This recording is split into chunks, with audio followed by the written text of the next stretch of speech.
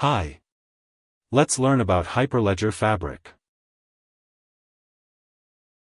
Hyperledger Fabric is a modular blockchain framework that acts as a foundation for developing blockchain-based products, solutions, and applications using plug-and-play components that are aimed for use within private enterprises. It was initiated by Digital Asset and IBM and has emerged as a collaborative cross-industry venture hosted by the Linux Foundation. Hyperledger Fabric is designed as a modular, scalable, and secure foundation for offering industrial blockchain solutions. It supports permissions-based membership for the verifiable identity of participants within private industrial networks. The network's modular architecture separates the transaction processing workflow into three different stages, leading to scalability and improved performance.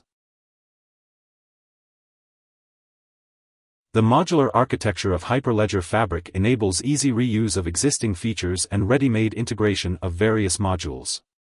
The support for plug-and-play of various components allows for scalability and performance enhancement, with only endorsers and committers having access to the transaction.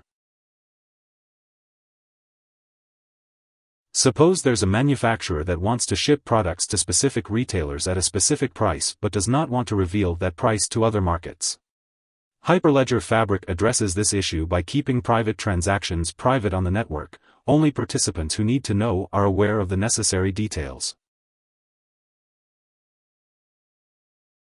Hyperledger Fabric faced skepticism and critique as a result of the collapse of the price of Bitcoin, and over-optimistic claims made during the crypto enthusiasm period. Here are four key takeaways. 1. Hyperledger Fabric is an enterprise-grade, open-source distributed ledger framework launched by the Linux Foundation in December 2016.